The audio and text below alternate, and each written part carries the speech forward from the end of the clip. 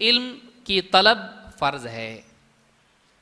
علم آپشنل نہیں ہے کہ کوئی کرے، کوئی نہ کرے، چلتا ہے۔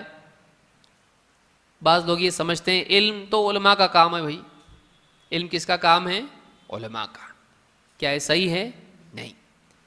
ہر مسلمان علم حاصل کرنے کا مکلف ہے۔ اس لیے کہ ہر مسلمان عقیدے اور عمل کا مکلف ہے۔ توحید اور اتباع سنت کا امت میں کون مکلف ہیں؟ سارے مسلمان۔ لہذا توحید کا علم حاصل کرنا اور سنت کا علم حاصل کرنا اس کا مکلف بھی ہر مسلمان ہے۔ آپ کو منزل پر پہنچنا ہے۔ راستہ آپ نہیں جانتے کیسا پہنچیں گے آپ؟ تو اگر آپ کو منزل پر پہنچنا ضروری ہے، تو اس منزل کا راستہ جاننا بھی ضروری ہے۔ تو ایک انسان کے لیے دین کا علم حاصل کرنا فرض ہے۔ جس جس چیز کا وہ مکلف ہے یعنی اس کے لیے کرنا ضروری ہے، اس کو سیکھنا بھی ضروری ہے۔ اللہ کے نبی صلی اللہ علیہ وسلم فرماتے ہیں، طلب العلم فریضۃ علی کل مسلم۔ علم کی طلب ہر مسلمان پر فرض ہے اعلیٰ کل مسلم۔ ہر مسلمان پر۔ بعض روایات میں وہ مسلمہ کی زیادتی ہے، علماء نے کہا کہ وہ زیادتی کیا ہے؟ ضعیف ہے، صحیح نہیں ہے۔ حدیث کیا ہے؟ علم حاصل کرنا ہر مسلمان پر فرض ہے۔ اس میں عورتیں آتی کہ نہیں؟ مسلمان نہیں ہے نہ ہو مسلمان میں عورتیں بھی آتی ہیں۔ مرد اور عورت، عورتیں عام طور سے دیکھیے، بعض اوقات مرد تو بہت ایکسپرٹ ہوتا ہے۔ واٹس ایپ پہ وہ ہر ڈبیٹ جیتتا۔ لیکن گھر میں بیوی کو معلوم نہیں۔ توحید کی کتنی قسمیں ہیں، تو چھ بتاتی ہو۔ اللہ پہ ایمان ہاں کتابوں پہ ایمان، فرشتوں پہ ایمان، اس کو نہیں معلوم ہے۔ ایمان کے کتنے ارکان ہیں؟ تو پانچ۔ یہ حال گھروں میں ہوتا ہے۔ اتحیات پوچھیں صورت الفاتح میں غلطیاں نکلتی ہیں۔ ہر آدمی سمجھتا ہے کہ اہل حدیث کا مطلب سب آتا۔ ہے ایسا؟ نہیں۔ اس کی انٹری ہوئی ہے۔ اس میں علم کی انٹری ہونا بھی ضروری ہے۔ ایک آدمی بعض اوقات سلفی ہو جاتا ہے، اہل حدیث ہو جاتا ہے۔ لیکن وہ کیا ہوا اب؟ ہاں میں آیا۔ لیکن اس کو آیا نہیں۔ اس کو بھی تو آنا ضروری ہے۔ یہ کب معلوم پڑتا؟ جب امامت کے لیے جہری نماز میں اس کو آگے کرتے ہیں۔ نہیں آتا میرے کو۔ میں نہیں جانتا ہے۔ سور فاتحہ پڑھنے نہیں آتا۔ سورت العصر میں اٹک رہا ہے۔ آپ دیکھیے، انسان زندگی نکل جاتی ہے۔ بعض اوقات گھر والوں کو نہیں معلوم، بچوں کو نہیں معلوم ہے۔ بچوں کو بیٹھ کے ہم میں سے کتنے لوگ سکھاتے علم ضروری ہے۔ مرد، عورت، سب کے لیے ضروری ہے۔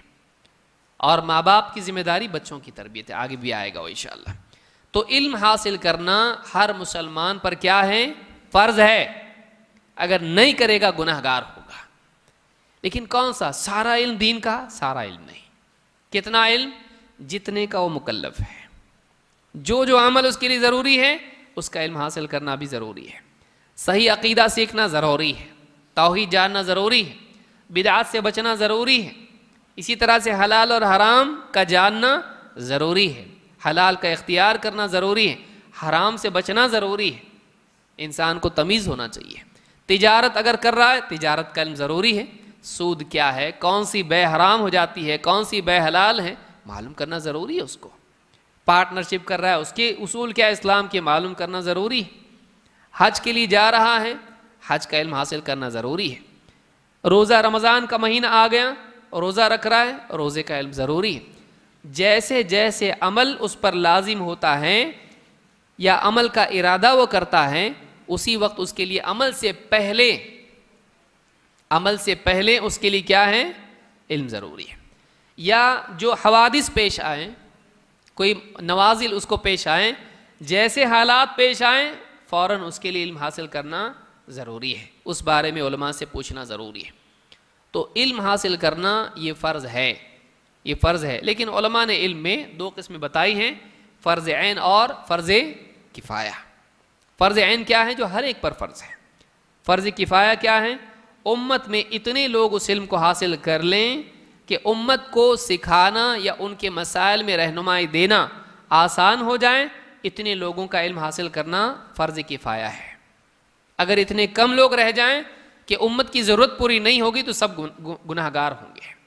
اتنے علماء، اتنے امت کے اندر رہنمائی کرنے والے ہمیشہ رہنے چاہیے کہ عوام کو دقت پیش نہ آئے اپنے دین پر چلنے میں اور پوچھنے میں۔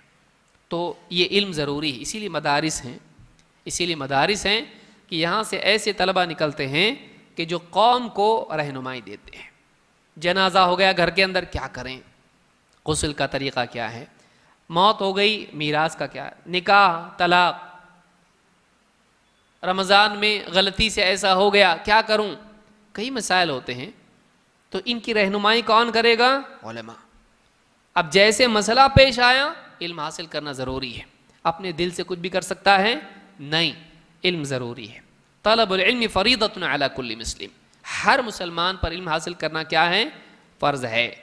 وہ ان طالب العلم یستغفر له كل شيء حتى الحيتان في البحر۔ طالب علم کے لیے ہر چیز مغفرت کی دعا کرتی ہے۔ یہاں تک کہ سمندر کی مچھلیاں بھی۔ اس کے لیے مغفرت کی دعا کرتی ہے۔ ابن عبد البر نے اپنی کتاب جامع بیان العلم میں اس کو روایت کیا اور یہ حدیث صحیح ہے۔ طالب علم کے لیے ہر چیز مغفرت کی دعا کرتی ہے۔ جاندار، چرند و پرند، چونٹیاں، شہد کی مکھیاں، یہاں تک کہ سمندر کی مچھلیاں بھی ہیں۔ کیوں؟ علماء نے کا وجہ یہ ہے کہ اس کے علم کے ذریعے سے دنیا فساد سے بچے گی ہے۔ اس کے علم کی وجہ سے لوگوں کے عقائد صحیح ہوں گے۔ اس کی تعلیم کی وجہ سے لوگ بدعات سے بچیں گے، گناہوں سے رکیں گے۔ اللہ کی طرف سے عذاب نہیں آئے گا، کیونکہ عذاب کس وجہ سے آتا ہے؟ ظہر الفساد فی البر والبحر بما کسبت ایدی الناس۔ لوگوں کے اعمال بگڑتے ہیں، اللہ کے فیصلے عذاب کے آتے ہیں۔ لیکن اس عذاب میں گناہ گاروں کے ساتھ ساتھ انسان بلکہ مخلوقات بھی مبتلا ہو جاتی ہیں۔ تو طالب علم اس بگاڑ سے سماج کو بچاتا ہے۔ اس کی تعلیم کے ذریعے سے لوگ سدھرتے ہیں۔ اور اللہ کا عذاب نہیں آتا ہے۔ مزید یہ کہ اس کی تعلیم کی وجہ سے انسان انسان کے اور مخلوقات کے حقوق جانتا ہے۔ ایک انسان اگر لوگوں کو سکھائے، جانوروں کو ستانا نہیں، تو اس کا فائدہ جانوروں کو بھی ہوتا ہے۔ ذبح کریں گے تو سلیقے سے کرنا، یہ سارے احکام ہیں۔ جانور پال رہا ہے، اس کے اوپر ممبر مت بنا اپنے جانوروں کو کہ خام خواہ اس کے اوپر بیٹھا ہوا ہے۔ ایسا نہیں۔ بلکہ جانوروں کے بھی حقوق انسان ادا کرتا ہے جب دین کا علم زندگی میں آتا ہے۔ تو اس کا فائدہ مخلوقات کو ہوتا ہے۔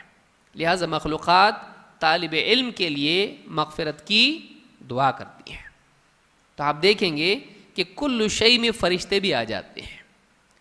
ساری چیزیں اس کے لیے، ساری مخلوقات اس کے لیے مغفرت کی دعا کرتی ہیں۔ طالب علم کا اتنا بڑا مقام ہے۔ وہ عالم نہیں بنا، وہ تو بس علم حاصل کرنے جا رہا۔ بہت سا نہیں بھی سمجھتا اس کو۔ تھوڑا بہت اونگ بھی لیتا۔ بعض اوقات مجلس میں جاتا ہے۔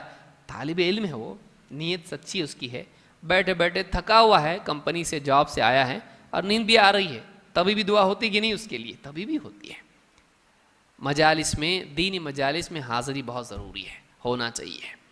تو اس حدیث سے بات معلوم ہوتی ہے کہ علم حاصل کرنا فرض ہے۔